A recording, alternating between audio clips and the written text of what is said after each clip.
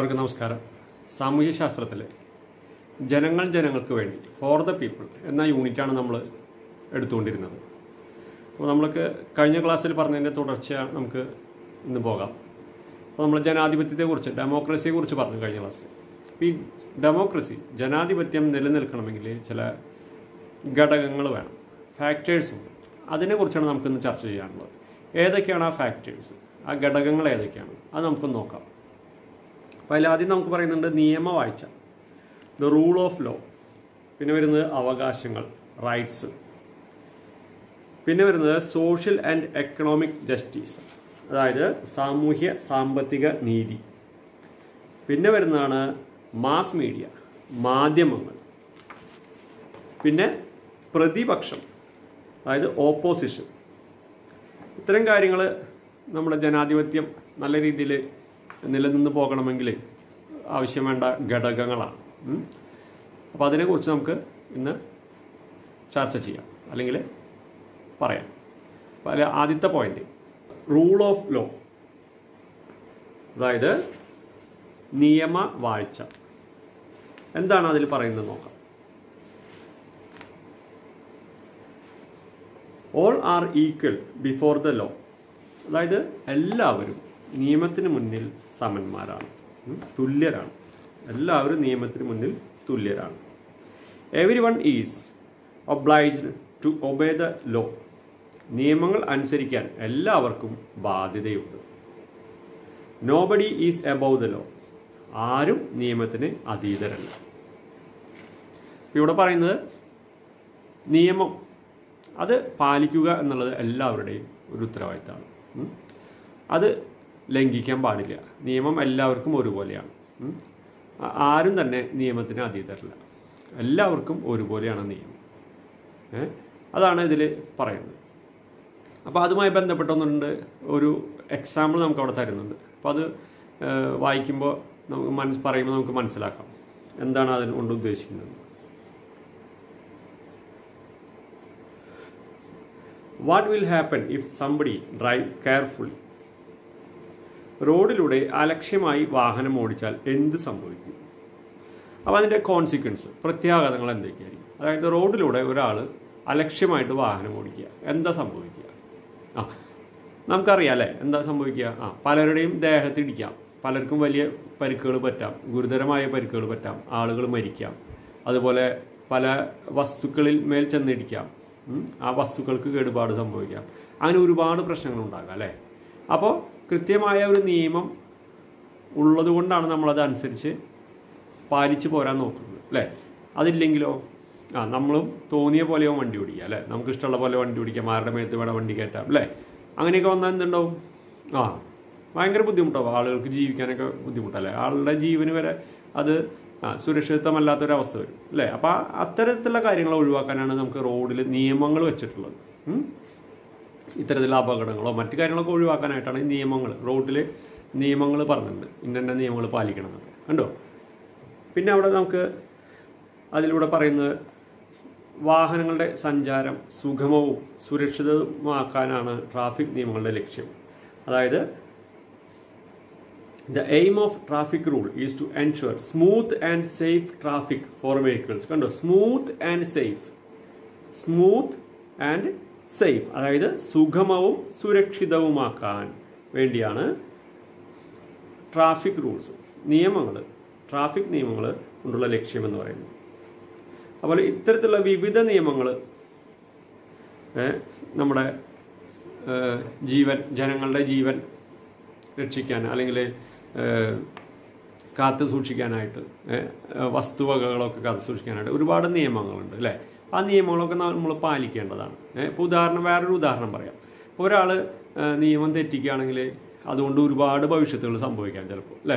ഇപ്പോൾ ഏറ്റവും സിമ്പിളായിട്ട് ഇപ്പോൾ പറഞ്ഞാൽ ഇപ്പോൾ നമുക്ക് കൊറോണയൊക്കെ ഉള്ള കാലഘട്ടമാണ് അല്ലേ? വലിയ ബുദ്ധിമുട്ടാണ്. നമുക്കറിയാം പുറത്തിറങ്ങണമെങ്കിൽ മാസ്ക് വേണം. മാസ്ക് ധരിച്ചിട്ട് ഇറങ്ങാമെന്ന് പറയുന്നുണ്ട്. ഇപ്പോൾ ഒരാൾ പറയ ചെയ്യണം. ഞാൻ മാസ്ക് ധരിക്കില്ല. എന്നുള്ളൊരു വാശി. ഞാൻ ധരിക്കില്ല. എന്നുള്ള വാശിയിൽ പുറത്തിറങ്ങി നടന്ന എന്തുണ്ടാവും?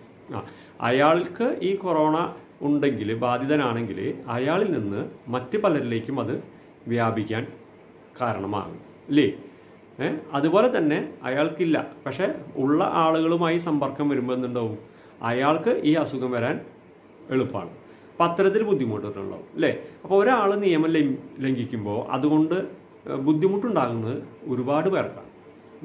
അപ്പം അതുകൊണ്ടാണ് നിയമങ്ങൾ പാലിക്കണമെന്ന് പറയുന്നത്. അപ്പോൾ നമ്മൾ റോഡിലെ ട്രാഫിക് പോലെ തന്നെ ട്രാഫിക് നിയമങ്ങൾ പാലിക്കുന്ന പോലെ ഒരുപാട് നിയമങ്ങളുണ്ട്. ആ നിയമങ്ങൾ നമ്മൾ പാലിക്കേണ്ടതാണ്. അല്ലേ? ഇപ്പോൾ സ്കൂളിൽ നമ്മൾ പഠിക്കും പറയാം. നമുക്ക് സ്കൂളിലും ഒരുപാട് ചെറിയ ചെറിയ നിയമങ്ങൾ നമ്മൾ സ്കൂളിലും പറയും അല്ലേ? എന്തിനു വേണ്ടിയിട്ടത് ആ നമ്മുടെ സുരക്ഷയ്ക്ക് വേണ്ടിയിട്ടാണ്. അല്ലാണ്ട് നമ്മളെ ചീത്ത പറയാനോ തല്ലാനോ അല്ലെങ്കിൽ നമ്മളെ ശിക്ഷിക്കാനോ വേണ്ടി മാത്രമല്ല നിയമം എന്ന് പറയുന്നത്. ആ നിയമം പാലിക്കുക വഴി എന്തുണ്ടാവും? ആ നമുക്കും നമ്മുടെ ചുറ്റുപാടുള്ളവർക്കും ഒരു സുരക്ഷിതത്വം ലഭിക്കുന്നതിന് വേണ്ടിയിട്ടാണ് അത്തരത്തിലുള്ള നിയമങ്ങൾ കൊണ്ടുവരുന്നത്. അടുത്ത പോയിന്റ് എന്താ? റൈറ്റ്സ് അവകാശങ്ങൾ. എന്താണ് അങ്ങനെ പറഞ്ഞാൽ? Rights are grant to the citizens for the progress of individual and the country വ്യക്തിയുടെയും രാജ്യത്തിന്റെയും പുരോഗതിക്ക് വേണ്ടി രാജ്യം അനുവദിച്ചു കൊടുത്തിട്ടുള്ള സാഹചര്യങ്ങളാണ് അവകാശങ്ങൾ. വ്യക്തിയുടെയും രാജ്യത്തിന്റെയും പുരോഗതിക്ക് വേണ്ടി രാജ്യം അനുവദിച്ചു കൊടുത്തിട്ടുള്ള സാഹചര്യങ്ങളാണ് അവകാശങ്ങൾ. അതായത് ഒരു വ്യക്തിയുടെ അതുപോലെ രാജ്യത്തിന്റെയൊക്കെ പുരോഗതിക്ക് വേണ്ടിയിട്ട് അനുവദിച്ചു കൊടുത്തിട്ടുള്ളതാണ് ഈ അവകാശങ്ങൾ എന്ന് പറയുന്നത്. ഇപ്പം ഇങ്ങനെ പറയുമ്പോൾ നിങ്ങൾക്ക് ചിലപ്പോൾ പിടുത്തം കിട്ടുന്നുണ്ടാവില്ല. എന്താണ് ഈ സംഭവം എന്ന് മനസ്സിലാവുണ്ടാവില്ല ഏഹ് അല്ലേ? റൈറ്റ്സ് എന്ന് പറയുമ്പോൾ ഏഹ് അപ്പം അതിന് ചില ചില റൈറ്റ്സുകൾ നമുക്ക് അവിടെ താഴെ കൊടുത്തിട്ടുണ്ട്. അത് എന്താണ് അവിടെ അവകാശങ്ങളായിട്ട് വരുന്നത് നമുക്ക് നോക്കാം. നിയമങ്ങളാണ് ഇവിടെ തന്നിട്ടുള്ളത്. വിവിധ നിയമങ്ങൾ. അതുകൊണ്ട് നമുക്ക് ലഭിക്കുന്ന അവകാശങ്ങൾ എന്താ നോക്കൂ. ഫസ്റ്റ് വൺ ഏതാ? റൈറ്റ് ടു എഡ്യൂക്കേഷൻ ആക്ട് വിദ്യാഭ്യാസ അവകാശ നിയമം. അതുകൊണ്ട് എന്തൊക്കെ അവകാശങ്ങൾ നമുക്ക് ലഭിക്കുന്നുണ്ട്? ആലോചിച്ച് നോക്കിയിട്ടുണ്ടോ? വിദ്യാഭ്യാസ അവകാശ നിയമം. അതുകൊണ്ട് നമുക്ക് എന്തൊക്കെ അവകാശങ്ങൾ ലഭിക്കുന്നുണ്ട്? ശ്രദ്ധിച്ചിട്ടുണ്ടോ ആരെങ്കിലും? ഉദാഹരണം ഇപ്പോൾ ഞാൻ ഒരു കാര്യം പറയാം. ഇപ്പോൾ നിങ്ങൾ അഞ്ചാം ക്ലാസ്സിലാണ് പഠിക്കുന്നത് അല്ലേ? നിങ്ങൾക്ക് സ്കൂളിൽ നിന്ന് ടെക്സ്റ്റ് ബുക്ക് കിട്ടിയോ? അതിന് പൈസ കൊടുക്കേണ്ടി വന്നു. ഇല്ലല്ലോ? ആ അത് തന്നെയാണ് അതിലെ ഏറ്റവും വലിയ പ്രധാന ഒരു ഉദാഹരണം എന്ന് പറയാം. അതായത് സൗജന്യമാണ്. പതിനാല് വയസ്സ് വരെയുള്ള കുട്ടികൾക്ക് സൗജന്യമാണ് വിദ്യാഭ്യാസം എന്ന് പറയുന്നത്. അവിടെ നമുക്ക് നോക്കാം എന്താ? Free and compulsory education to children up to the age of fourteen years പതിനാല് വയസ്സ് വരെയുള്ള വിദ്യാർത്ഥികൾക്ക് സൗജന്യവും നിർബന്ധിതവുമായ വിദ്യാഭ്യാസം ലഭിക്കുന്നു. കണ്ടോ? സൗജന്യവും നിർബന്ധിതവുമായ വിദ്യാഭ്യാസം ലഭിക്കുന്നു. അപ്പോൾ നിർബന്ധമായിട്ട് നമുക്ക് വിദ്യാഭ്യാസം വേണം. അപ്പോൾ അതിനുള്ള ഇപ്പോൾ ഒരാൾ കുട്ടി പഠിക്കാൻ പോകുന്നില്ല എങ്കിൽ ആ- കുട്ടിയെ വിദ്യാലയത്തിലേക്ക് എത്തിക്കാൻ അധികൃതർ പരമാവധി ശ്രമിക്കും. മനസ്സിലായോ? തന്നെയല്ല സൗജന്യമാണ്. നമുക്കറിയാം ഇപ്പോൾ സ്കൂളിൽ നമുക്ക് ഒരുപാട് കാര്യങ്ങൾ സൗജന്യമായിട്ട് ലഭിക്കുന്നുണ്ടല്ലോ. ഇപ്പോൾ ടെക്സ്റ്റ് മാത്രമെന്നല്ല അല്ലേ? ഒരുപാട് കാര്യങ്ങളുണ്ട്. അപ്പോൾ അടുത്ത പോയിന്റ് എന്താ നോക്കൂ? Traffic loss. മോട്ടോർ വാഹന നിയമം. എന്താണ് മോട്ടോർ വാഹന നിയമം? അതുകൊണ്ട് നമുക്ക് ലഭിക്കുന്ന റൈറ്റ്സ് എന്തൊക്കെയാണ്? അവകാശങ്ങൾ എന്തൊക്കെയാണ്? നോക്കൂ. Traffic laws define the uses of vehicles in public places and to ensure the protection of life and property of the people. അതായത് വാഹനങ്ങൾ പൊതുനിരത്തിലും മറ്റു പൊതുസ്ഥലങ്ങളിലും ഉപയോഗിക്കേണ്ട ക്രമത്തെക്കുറിച്ച് നിർവചിക്കുന്നത് വഴി പൊതുജനത്തിന്റെ ജീവനും സ്വത്തിനും സംരക്ഷണം നൽകും കണ്ടോ? നിയമങ്ങൾ അവിടുത്തെ അവിടെ ആ നിയമം കൊണ്ട് ഉദ്ദേശിക്കുന്നത് എന്താ? അത് കൃത്യമായിട്ട് നമ്മൾ പാലിക്കണം. അതുവഴി നമ്മുടെ പൊതുജനങ്ങളുടെ ജീവനും സ്വത്തിനും ഒക്കെ സംരക്ഷണം നൽകണം നമ്മൾ നേരത്തെ പറഞ്ഞ പോലെ ആ നിയമം നമ്മൾ പാലിച്ചിരിക്കുന്നുണ്ടാവും. ആ മറ്റുള്ളവർക്ക് നമ്മുടെ ചുറ്റുപാടുമുള്ളവർക്ക് ഒരുപാട് ബുദ്ധിമുട്ടുകൾ അതുകൊണ്ട് നേരിടേണ്ടി വരും അല്ലേ? നെക്സ്റ്റ് പോയിന്റ് എന്താ? റൈറ്റ് ടു ഇൻഫർമേഷൻ ആക്ട് വിവരാവകാശ നിയമം. അത് കേട്ടിട്ടുണ്ടാവും ചിലപ്പോൾ നിങ്ങൾ അല്ലേ? അതുകൊണ്ട് എന്താ ഉദ്ദേശിക്കുന്നത് നോക്കൂ. This act gives right to the citizens to obtain information from any office fully owned or under the control of the central or state government. അതായത് കേന്ദ്ര സംസ്ഥാന സർക്കാരുകളുടെ ഉടമസ്ഥതയിലുള്ള അതായത് സ്റ്റേറ്റ് ഗവൺമെന്റോ അല്ലെങ്കിൽ സെൻട്രൽ ഗവൺമെന്റോ ഏത് ഗവൺമെന്റോ ആയിക്കോട്ടെ ഈ ഗവൺമെന്റുകളുടെ ഉടമസ്ഥതയിലുള്ള നിയന്ത്ര അല്ലെങ്കിൽ നിയന്ത്രണത്തിലുള്ള ഏതൊരു സ്ഥാപനത്തിൽ നിന്നും നമുക്ക് വിവരങ്ങൾ ശേഖരിക്കാനുള്ളതാണ് ഈ റൈറ്റ് ടു ഇൻഫർമേഷൻ ആക്ട് എന്ന് പറയുന്നത്. വിവരാവകാശ നിയമം. നമുക്ക് ആ ഏതെങ്കിലും ഒരു ഓഫീസുമായി ബന്ധപ്പെട്ട എന്തെങ്കിലും വിവരങ്ങൾ നമുക്ക് ലഭിക്കണം. ചിലപ്പോൾ നമ്മൾ നേരിട്ട് ചെന്നാൽ ചിലപ്പോൾ അതിപ്പോൾ തരാൻ പറ്റില്ല എന്ന് പറയില്ലേ അപ്പോൾ അത്തരത്തിലുള്ള പ്രശ്നങ്ങൾ ഒഴിവാക്കാനാണ് ഈ ഇത്തരത്തിലുള്ള ഒരു വിവരാവകാശ നിയമം എന്ന് കൊണ്ടുവന്നിട്ടുള്ളത്. അതായത് നമുക്ക് ഏത് ഓഫീസുമായി ബന്ധപ്പെട്ടത് അതായത് കേരള സംസ്ഥാനത്തിന്റെയോ അല്ലെങ്കിൽ സംസ്ഥാനത്തിന് കീഴിലുള്ള അല്ലെങ്കിൽ കേന്ദ്ര സംസ്ഥാനത്തിന് കേന്ദ്രത്തിന് കീഴിലുള്ള കേന്ദ്ര ഗവൺമെന്റിന് കീഴിലുള്ള ഏത് ഓഫീസിൽ നിന്നും ഉള്ള വിവരങ്ങൾ നമുക്ക് ലഭ്യമാക്കാൻ സാധിക്കും. അത് ഇത്തരത്തിൽ വിവരാവകാശ നിയമം ഉപയോഗിച്ച് നമുക്ക് ആ വിവരങ്ങൾ ലഭ്യമാക്കാൻ സാധിക്കും. അതിന് നമുക്ക് ഒരു പത്ത് രൂപയാണ് നമുക്ക് അതിനാകെ ചിലവ് വരുള്ളൂ. ആ ഒരു അപേക്ഷ നമ്മൾ അയച്ചാൽ നമുക്ക് അത് ഇത്ര ദിവസത്തിനുള്ളിൽ നമുക്ക് അതുമായി ബന്ധപ്പെട്ട വിവരങ്ങൾ തന്നുകൊള്ളണം എന്നുണ്ട്. അതാണ് ഈ നിയമത്തിന്റെ ഒരു ഗുണം. അടുത്ത പോയിന്റ് എന്താ? വൃദ്ധജന പരിപാലന നിയമം അതായത് ദ സീനിയർ സിറ്റിസൻസ് ആക്ട്. അതിൽ അതിൽ പറയുന്നത് എന്താ?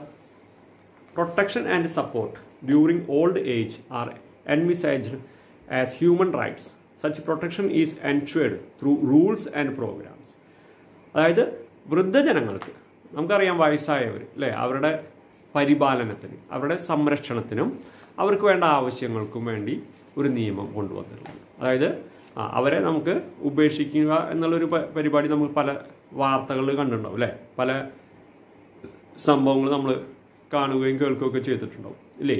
വയസ്സായവരെ ഉപേക്ഷിച്ച് പോകുക എന്നുള്ളതൊക്കെ. അപ്പം അത് ഒഴിവാക്കിക്കൊണ്ട് ആ അത്തരത്തിൽ വയസ്സാകുന്നവരുടെ വൃദ്ധജനങ്ങളുടെ സംരക്ഷണത്തിന് വേണ്ടിയിട്ട് അവരെ സപ്പോർട്ട് ചെയ്യാനും വേണ്ടിയിട്ടുള്ള ഒരു നിയമമാണ് ഏത്?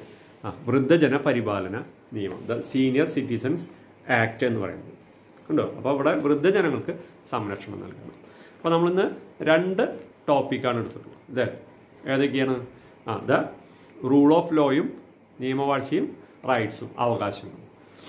നമുക്ക് മൂന്ന് പോയിന്റ് കൂടി ഇതുമായി ബന്ധപ്പെട്ടുണ്ട് നമുക്കത് അടുത്ത ക്ലാസ്സിൽ പറയാം. അപ്പോൾ അടുത്ത ടോപ്പിക്ക് നമുക്ക് അടുത്ത ക്ലാസ്സിൽ ചർച്ച ചെയ്യാം.